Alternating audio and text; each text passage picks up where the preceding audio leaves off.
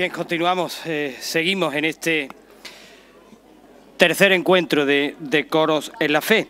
Y ahora me toca decir, tratar de amor como San Francisco de Asís y Beatos Mártires. Hace la oración la comunidad de padres capuchinos y la parroquia de El Salvador de Antequera.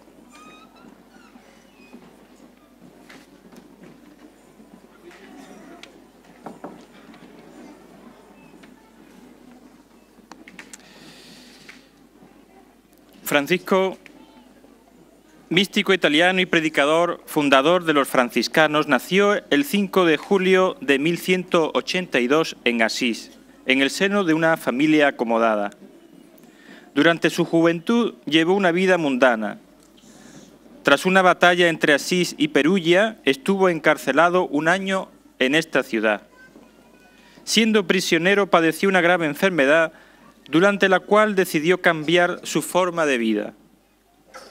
En 1205 ejerció la caridad entre los leprosos y comenzó a trabajar en la restauración de ruinas de iglesias debido a una visión en la que el crucifijo de la iglesia en ruinas de San Damián, en Asís, le ordenó que reparara su casa. Los gastos en obras de caridad enfurecieron a su padre que llegó a desheredarlo. Renunció a su lujosa ropa por una capa y dedicó los tres años siguientes al cuidado de los leprosos y los proscritos en los bosques del monte Subasio. Restauró la ruinosa capilla de Santa María de los Ángeles. En 1208, durante una misa, escuchó una llamada diciéndole que saliera del mundo siguiendo el texto de San Mateo, que no poseyera nada, pero hiciera el bien en todas partes. Cuando regresó a Asís, ese mismo año empezó a predicar, provocando la renovación de la espiritualidad cristiana del siglo XIII. Reunió a los doce discípulos que se convirtieron en los hermanos originales de su orden, más tarde llamada la Primera Orden, y lo eligieron superior, en 1212 recibió a una monja de Asís llamada Clara en la comunidad franciscana. A través de ella se estableció la orden de las damas pobres, las clarisas, más tarde llamada Segunda Orden. Viajó a Tierra Santa por tareas de evangelización.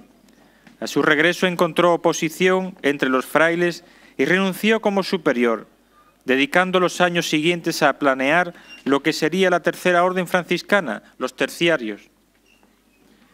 La tradición de poner el Belén en el mundo se remonta al año 1223, en una Navidad de la villa italiana de Greccio, en esta localidad.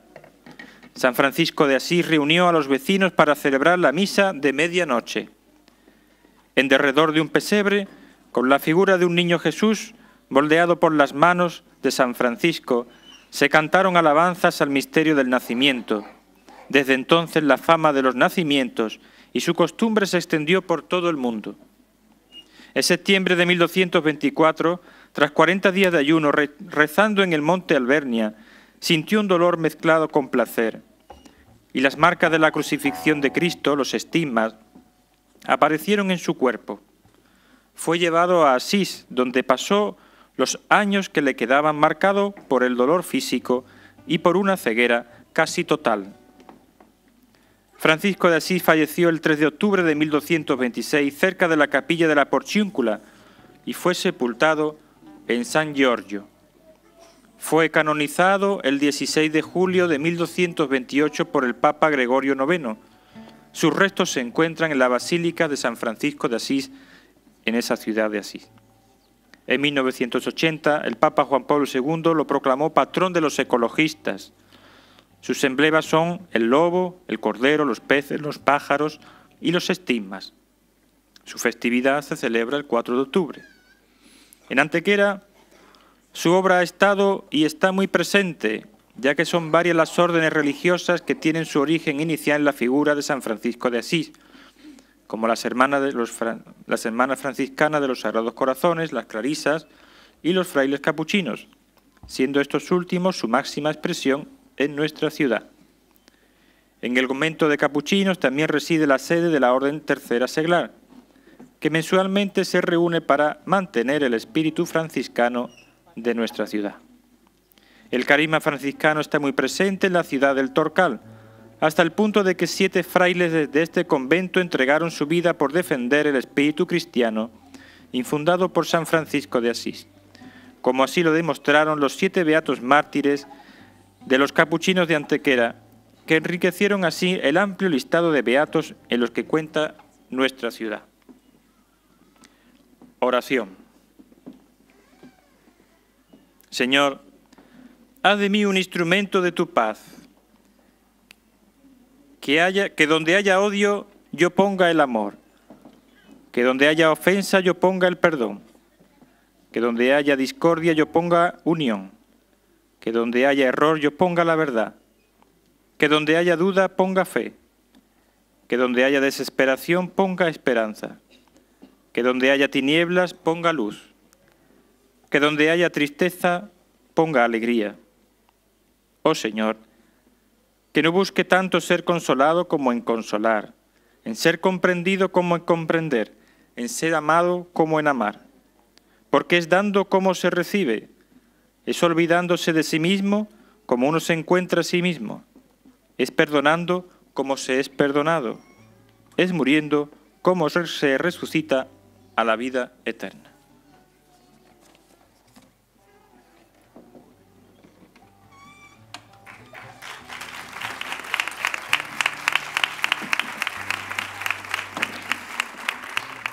Bueno, pues ya los ven, ya los ven en lo alto de las tablas ahora de nuestro Teatro Torcal.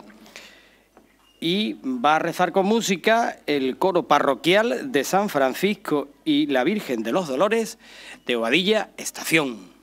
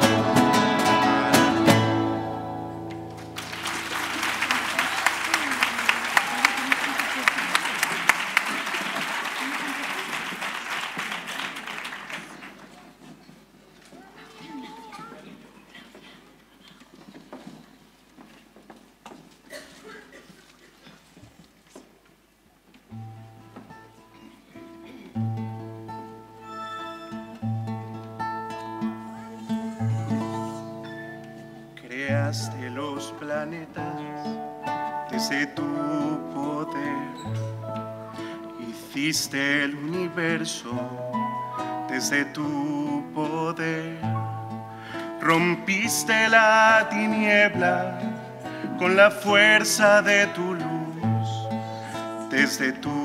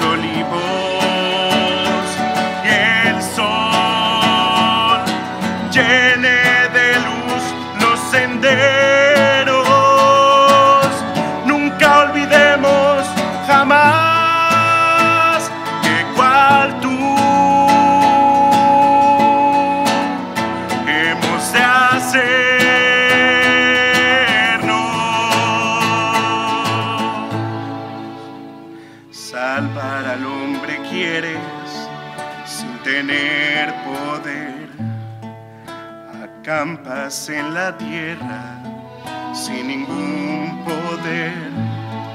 Tu fuerza de ser Dios te la anula siendo niño, te quitas poder, pierdes tu poder.